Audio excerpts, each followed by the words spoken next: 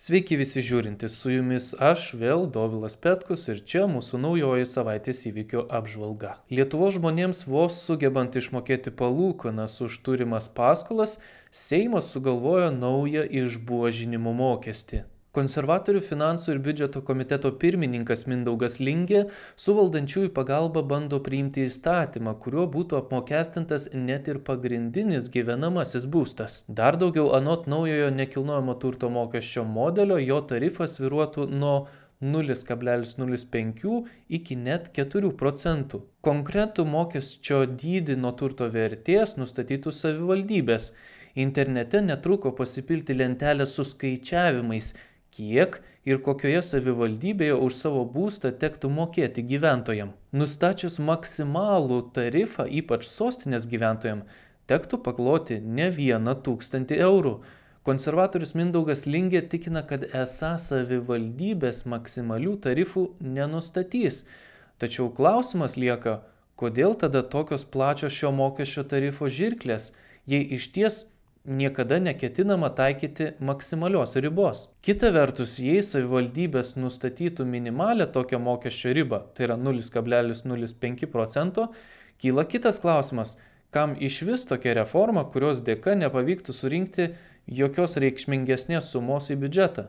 Panašu, kad vyriausybė tokiu būdu ruošiasi nusimesti naštą nuo savivaldybių, kurios savo projektus esą galės finansuotis nustatydamos vis didesnį nekilnojamo turto tarifą savo gyventojams. Įtin keistai atrodo ir valdančiųjų liberalų dalyvavimas šio atvirai socialistinio įstatymo rengime. Tikėtina, kad trūkstamų balsų gali parūpinti ir opozicijos atstovai, ypač socialdemokratai, kuriems tokios iniciatyvos skurdinant žmonės niekiek nekliūva. Ir nors konservatorių teigimu neįvedus tokio mokesčio išloštų turtingieji, Panašiau, kad su tokia tvarka Lietuvos žmonės, o ypač jaunos šeimos, būtų galutinai atgrasintos nuo siekio kurti savo gyvenimą čia, kadangi prie smaugiančių ir vis kylančių palūkanų už paskolas dar prisidėtų ir tokia valdžios dovanėlė. Šiai valdžiai be galo sunku suvokti, kaip paprasti žmonės užsidirba pinigus ir susitaupo namam. Jiem atrodo, kad žmonėms pinigai auga ant medžių. Absoliuti dauguma Lietuvos žmonių sunkiai dirba, moka mokesčius ima paskolas, moka palūkanas, norėdami turėti savo namus, kuriuos myli ir puoselėja. Lietuvos skurdo rizikos lygis yra vienas praščiausių ES, taigi šiandien šis valdančiųjų stumiamas mokestis yra net ne ekonominis, o moralinis. Bet kadangi ši valdžia tokio dalyko kaip moralė neturi, tai jai atrodo moralu apmokestinti net ir vienintelius žmonių namus, kuriuose žmonės jaučiasi saugus, tikisi, kad niekas jų iš ten neiškraustis ir galų gale jokia valdžia nors čia niekada nekiš savo nosies. Valstiečių ir Žaliųjų sąjungos lyderis Ramūnas Karbauskis pabrėžė, kad jo partija nepalaiko tokios reformos ir priešinčis tokio mokesčio prieimimui Seime. Kilus masiniai gyventojų nepasitenkinimo bangai ir spalio 26-ąją net pradėjus organizuoti mitingą šalia Seimo, valdantieji panašu ne juokais išsigando. Nekilnojamo turto klausimas buvo išbrauktas iš spalio 26-osios plenarinio posėdžio darbo atvarkės. Tai reiškia, kad šio mokesčio įstatymo pataisų paskutinis svarstymas ir balsavimas nukeliamas į lapkritį, nebent Seimo valdyba ar seniūnų suiga gražintų jį į darbo tvarkę anksčiau. Sunku suvokti, ką rinkimų metų kontekste išdarinėja konservatoriai ir jų koaliciniai partneriai liberalai. Tokie sprendimai atrodo visiškai nelogiški. Nors valdantieji dengiasi Europą, esą yra verčiami priimti tokį įstatymą, nes kitaip negaus europinės paramos, kitose šaliuose galiojantis nekilnojamo turto mokestis dažniausiai apima papildomą nekilnojamą turtą bet ne pagrindinį gyvenamąjį būstą. Labai panašu, kad Lietuvoje iš ties siekiama realizuoti radikalų iššūkį. Jūs neturėsit nieko ir būsit laimingi. Lietuvoje šią savaitę nerimsta grasinimai mokykloms ir kitoms įstaigoms. Nuolat siunčiamuose pranešimuose grasinama susprogdinti mokymo įstaigas, moksleiviai negali normaliai eiti į pamokas, o institucijos kol kas yra bejėgės atsispirti tokiai masiniai informaciniai atakai. Su tokio pobūdžio labai kryptinga informacinė ataka pirmą kartą susidarė ne tik Lietuva, bet ir kitos Baltijos valstybės. Parlamento vadovė Viktorija Čmilytė Nilsen ragino išlaikyti rimtį ir nepasiduoti panikai, sakydama, kad Jei informacinių atakų organizatoriams nepavyks pasiekti savo tikslų, tai yra sukelt panikos, nepasitikėjimo visuomenį, jos gali ir išsikvėpti. Manau, jei toliau nepasiduosime panikai, po kelių savaičių gali ir sustoti šis dalykas, nes jo tikslas yra visiškai akivaizdus išmušti iš vėžių ir sukelti visuomeniai nepasitikėjimą. Taigi panašu, kad kol kas su tokiu nusistatymu liksime priklausomi nuo mus terrorizuojančių asmenų malonės, o tiksliau jų nuovargio mus toliau terrorizuoti. Kiek kitaip situaciją komentavo prezidentūra. Prezidento vyriausiasis patarėjas nacionalinio saugumo klausimais Kestutis Budrys sako, kad praėjusią savaitę Lietuvoje kilusi melagingų pranešimų apie sprogmenis įvairiose įstaigose lavina atskleidė tarnybų reagavimo spragas. Pasak jo, Lietuvoje reikalingi reagavimo protokolai, kurie būtų vieningi visom įstaigom.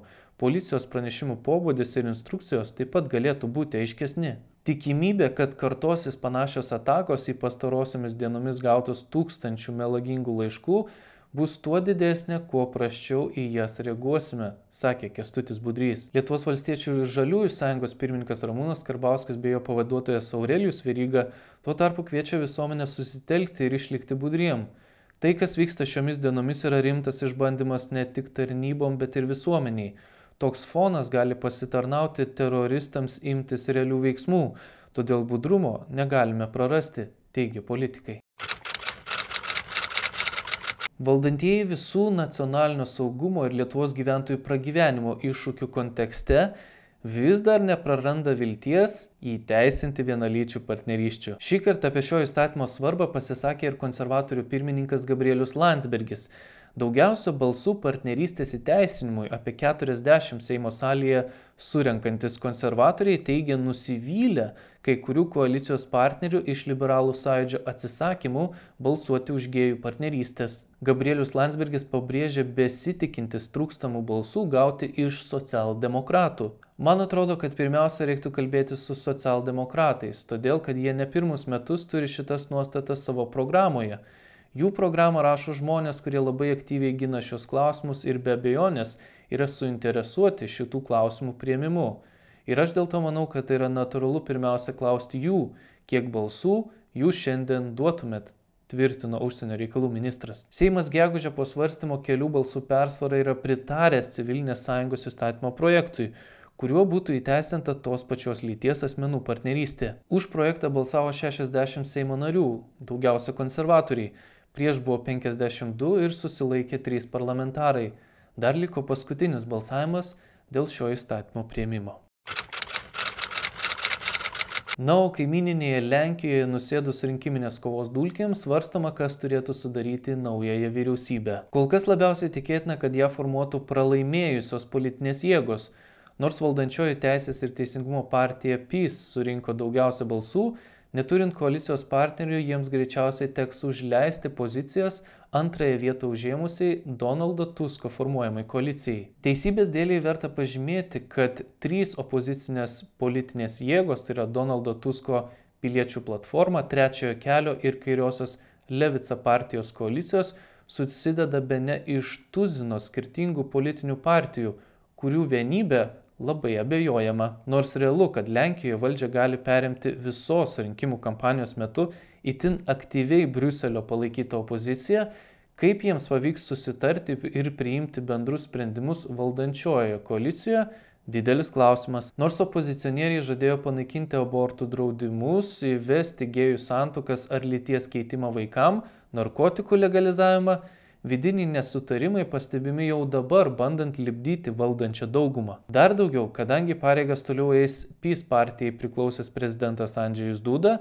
bet kurie naujosios vyriausybės sprendimai galės būti vetuojami, o veto atveju Lenkijoje neužtenka paprastos daugumos, būtina bent 3 penktadalių Seime dauguma, kad būtų galima atmesti prezidentinį veto. Tad panašu, kad Lenkijoje turėsim politinio pato situaciją ir net chaosą kurioje liberali valdžia bandys priimti įstatymus, kurie bus vetuojami Andžiaus Dūdos, bent jau iki kitų prezidento rinkimų 2025-aisiais. Sunku taip pat nepastebėti Donaldo Tusko formuojamas daugumos panašumų su mūsų šalies valdančiaisiais, kuriems taip pat svarbiausi klausimai buvo narkotikų įteisinimas, gėjų partnerystės ar lyties keitimas vaikam. Priedo galime prisiminti ir bandymus sumenkinti šalies prezidento galės, keliant klausimą, kas turėtų atstovauti Europos vadovų taryboje. Panašu, kad nuo šiol visą eilę šių klausimų, su kuriais susidūrėme mes, spręs ir Lenkijos visuomenė. Tad prigimtinę šeimą ginančiom ir sveiką visuomenę išsaugoti siekiančiom jėgom Lietuvoje būtų neprošal pasidalinti savo patirtimi, kaip kovoti su liberalais. Ačiū visiems, kurie žiūrėjo šią savaitę mūsų laidą, su jumis buvau aš, Daulas Petkus, iki kitos savaitės, iki.